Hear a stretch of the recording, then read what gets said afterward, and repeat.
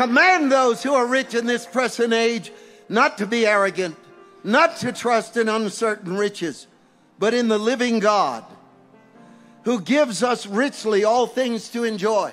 I've never understood the radical environmentalists. I've never understood them. I don't understand Greta. I have no doubt of her sincerity, but I don't understand her.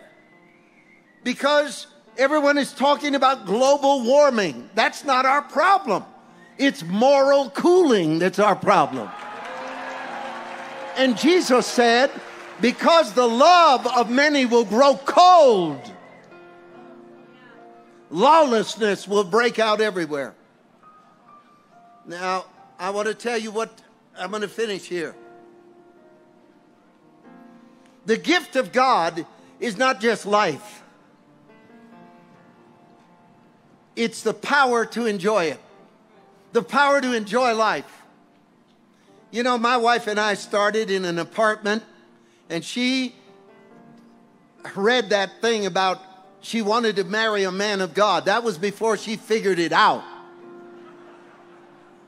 You marry a man of God, you're on a roller coaster ride. You're going to see an emotional swing. Why are you out of bed at three o'clock in the morning making noise in the next room? What is the matter with you?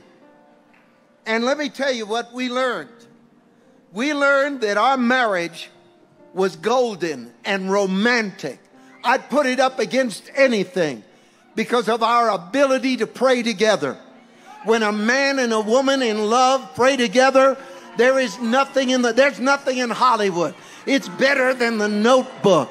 It's better than the romance novel. There is nothing like a man and a woman of God kneeling before the Lord. Somebody help me. I'm trying to preach.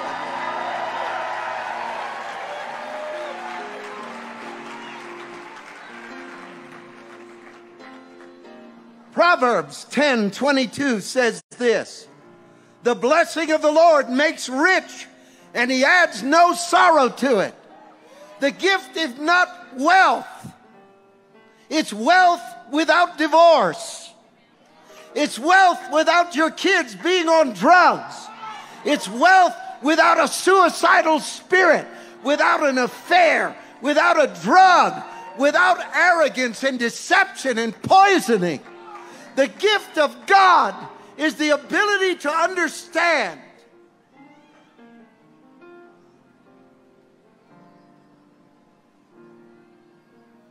that my life is not a cruel joke.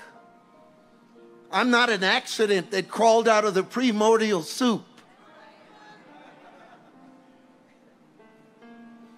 I'm a child of God. I'm a child of God.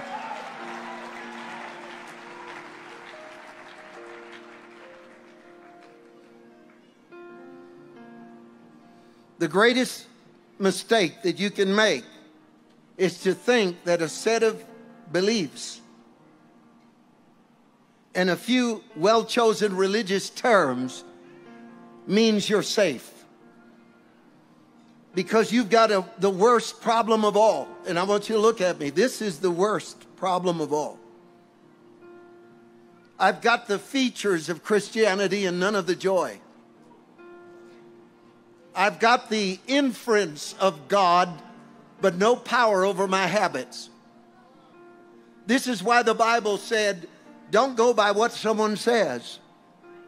2 Timothy 3, verse 5 says, having a form of godliness but denying its power, meaning this just like the billionaire can have everything and not enjoy it, you can have all the terms and not enjoy it. And right now, you're in here and you're, you carry a Bible and you go to church, but your loneliness and depression is overwhelming.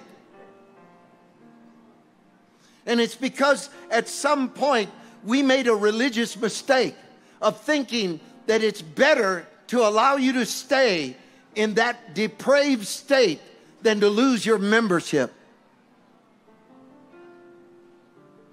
But a man of God will look out at a crowd and love them enough to say, you know what? I don't care if you like me. I don't care if you tithe to me. What I care about is that if I have the power to get you out of the power of the devil, get you free of the emotional disaster that's going on in America, to make it so that your family will be a cohesive unit and you'll have joy and peace and power. That's what I want. Now,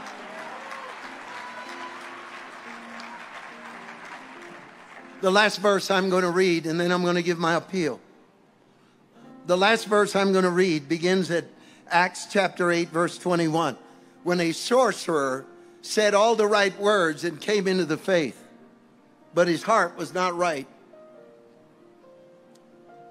And Peter looked at him because the man said, I love the way that people are baptized in the Holy Spirit when you lay hands on them. And he said, What would it cost me for you to transfer that gift? We are shocked at how many Christians in Colorado Springs are smoking marijuana and see no problem with it. And, and the terrified ministers who aren't ready to call them on it. Or the guy that bought your carpet that's sleeping with his secretary. And you won't call him on it. See, the thing I love with Peter is, you know what, dude? You said all the right things, but you're not right with God. You are not right with God. And he, and he went on and he said this You have neither part nor portion in this matter, for your heart is not right in the sight of God. Repent, therefore, of your wickedness, of this your wickedness, and pray that God, if perhaps the thought of your heart might be forgiven you. For I see that you are poisoned by bitterness. You know what happened at the end of COVID? They did a report today. Half a million people still didn't get the sense of smell and the sense of taste back. That's a good analogy. They have food they can't smell, they have something they can't enjoy. You're sitting here right now. You know who you should be? You should be one of these young people jumping straight up and down because they realize I serve a living God.